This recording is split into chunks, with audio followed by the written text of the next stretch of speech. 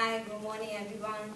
First, I'd like to respectfully and graciously recognize everybody in this shared space. Today wouldn't be happening without the class of 2029 at Brewster University.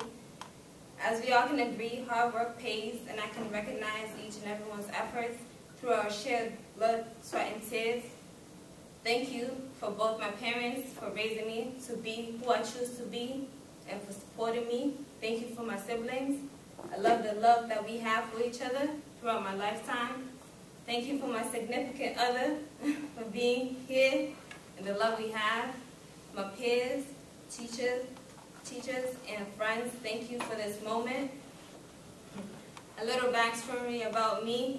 After switching my major thrice and three degrees later, I can say I have accomplished my dream and dreams do come true if you believe believe in them hard enough.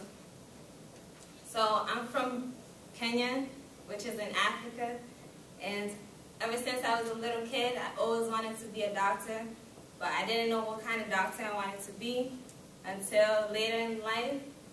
Here I am. I'm graduating to be a dentist with my fellow peers. Um, I graduated from well, I graduated from Middlesex Community College and later transferred to UMass Lowell and graduated um, with a chemistry degree. And here I am.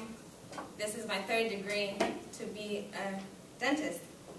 Congratulations to the class of 2029. The future is ours. We have finally achieved this moment. Just like a race, we have got to the finish line about to take a break, and hopefully now enjoy the summer.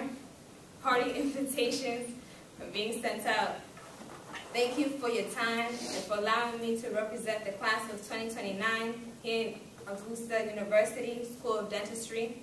We're the Jaguars. As it's known, nothing worth having comes easy. Thank you.